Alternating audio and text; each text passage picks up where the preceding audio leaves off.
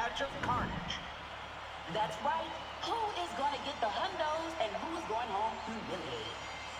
Let's do this.